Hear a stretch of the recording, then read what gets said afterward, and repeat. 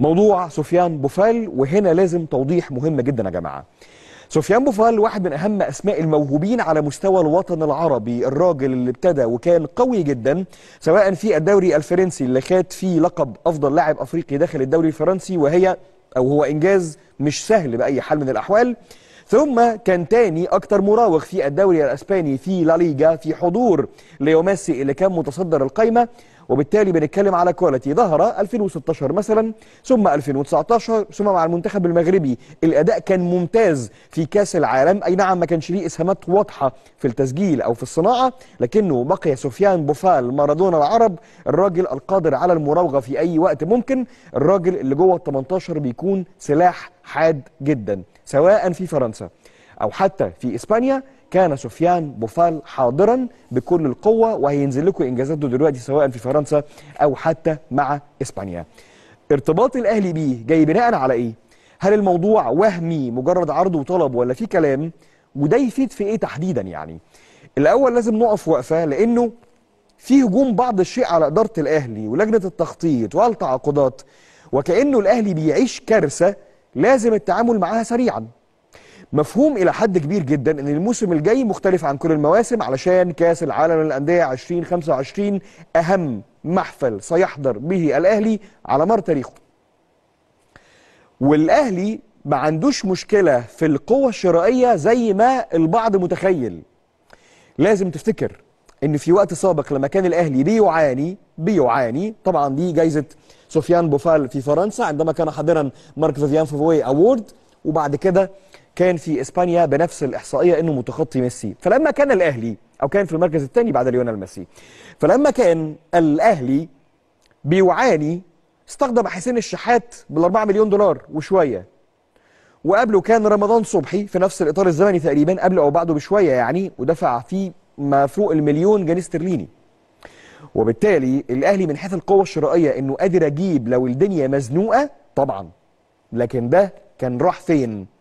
كان في نفس الوقت لا يمكن هتعمل ده في اليد وفي السلة وفي الطايرة وتجيب مدربين أجانب وتطور قطاع الناشئين وتجيب سكاوتنج لعيبة من بره وتعمل كل الكلام ده.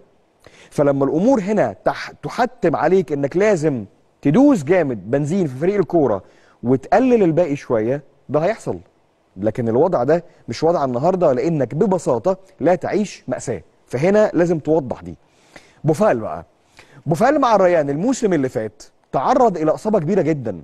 يعني لعب خمس مباريات مع ريان ثم قعد في إصابة طويلة خلت مدربه أموريم يقول ويرد ويقول في القصة دي إنه يا جماعة أنا ما أقدرش كمدير فني أحكم على مستواه لأنه ما كانش موجود معايا إلا في خمس مباريات فقط لا غير.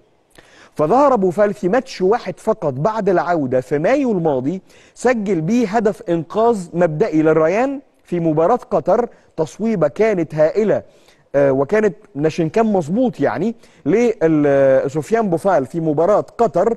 ده كان بعد 12 دقيقة وقت بدل ضايع. هتمشي الصور هتلاقي إن الكورة جاية بالعرض تتصلح ثم ثم سفيان بوفال إلى داخل المرمى. ووصل الفريقين إلى ركلات الترجيح وخسر وقتها الريان قدام نادي قطر. لكن كانت المباراة دي هي المباراة الوحيدة اللي رجع فيها سفيان بوفال اللي سجل فيها واللي قدم أداء ممتاز. ومعلق هذه المباراه, بالمناسبة لم اموريم كتير إنه إزاي ده ما بدأش إزاي ده اللي عنده عامل الفرق إزاي إنه يعمل كل الكلام ده وما يكونش حاضر في أرض الملعب. الأسئلة المهمة بقى. سفيان بوفال هل بدنيا دلوقتي سليم؟ 100% مشكلة الريان معاه إيه؟ الخوف من تكرار الإصابة. الريان تاني دوري. فبالنسبة له ملف التعاقدات مفتوح على مصراعيه. الريان منفتح على موضوع الإعارة. راتب بوفال هناك 3 مليون كتير جدا. لكن مين قال إن الأهلي هيشتري بالأرقام دي؟ الأهلي بعد ما داق حلاوة الإعارة مع يحيى عطية الله قدامه option واضح جدا للإعارة.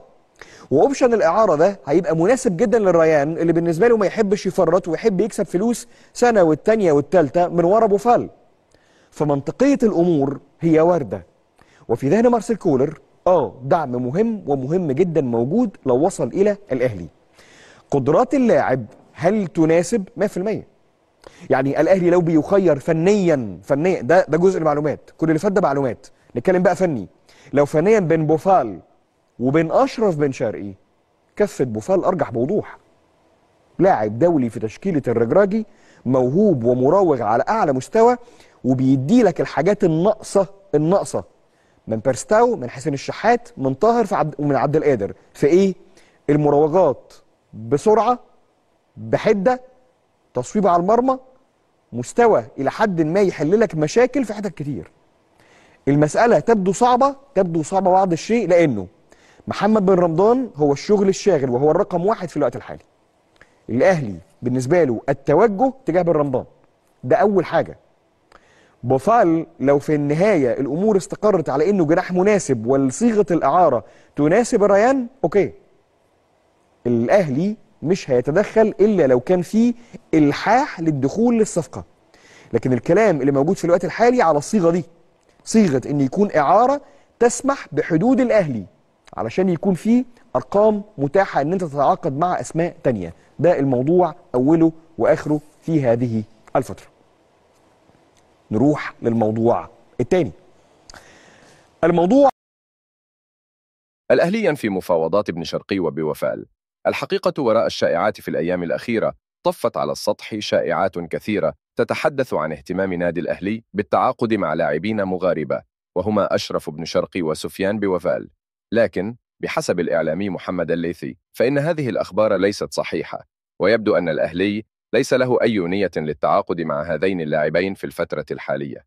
في برنامج 10 وعشرة الذي يقدمه محمد الليثي عبر إذاعة أون تايم سبورت اف ام أوضح الليثي أن النادي الأهلي لم يفكر أبدا في ضم أشرف بن شرقي جناح الزمالك السابق.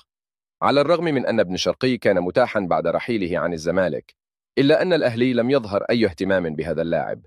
هناك أسباب متعددة وراء عدم اهتمام الأهلي بابن شرقي ولكن لم تفصح الإدارة عن تفاصيل هذه الأسباب. من المحتمل أن تكون الأسباب تتعلق بالظروف المالية للنادي أو ببعض القضايا الفنية والتكتيكية التي تجعل ابن شرقي ليس ضمن أولويات الفريق. أما بالنسبة لسفيان بوفال لاعب الريان القطري فقد ارتبط اسمه بالنادي الأهلي في الفترة الأخيرة.